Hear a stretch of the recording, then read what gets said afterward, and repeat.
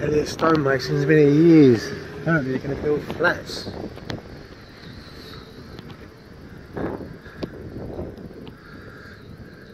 It's opposite the post office building.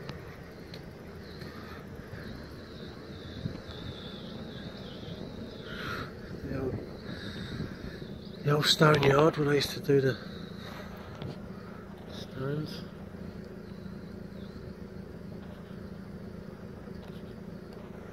There, George Mackey.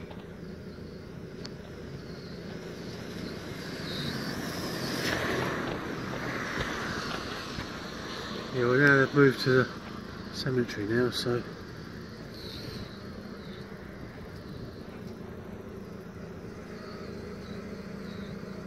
it's going to be gone.